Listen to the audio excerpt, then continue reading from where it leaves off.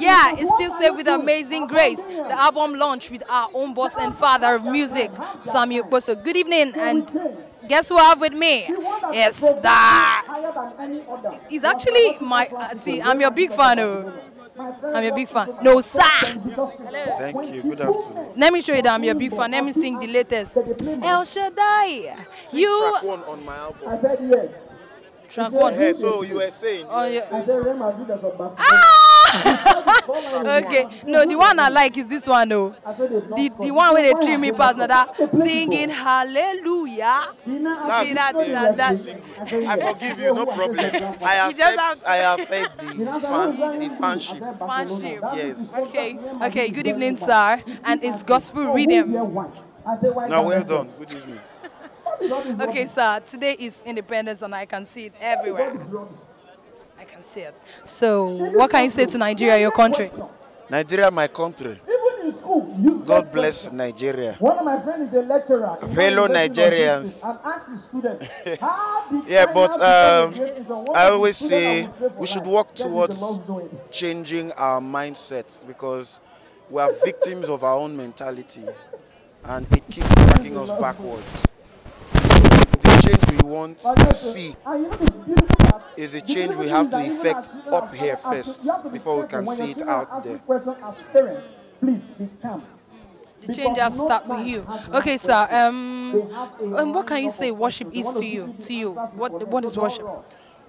Worship is your general attitude of submission towards God, towards His greatness, towards His will. So you you you can show your worship. You can you can exhibit your worship by the lifting of your hands and you know the bowing of your head and all that lying prostrate before God. But the real worship starts from the heart. So, how do you feel when you hear the word of God? When you hear about God, you know, what goes through your mind? That determines whether you're worshiping or not.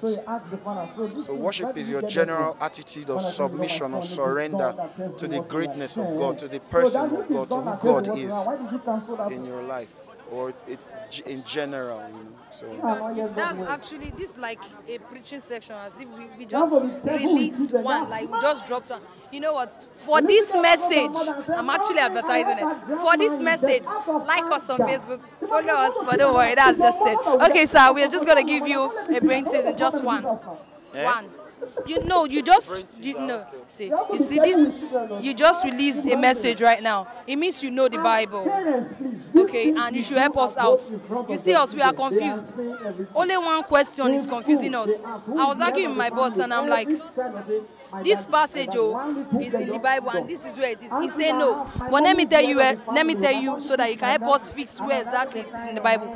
It goes thus. It says, "And thou shalt let sleeping dogs lie." Lest thy neighbor get angry with thee and hate thee. He said is in Hosea. Me, I say it's in Deuteronomy. As we were arguing, in fact, I don't know. Can you help us out? Eh, eh, eh, faint. I should say it again.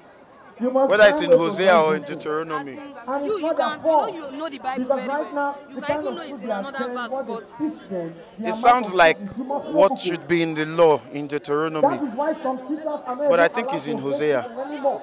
Because they get the teacher right answer. Final answer. okay. For the outcome of this, you can go to Gospelrhythmz to find this out. Thank you very much.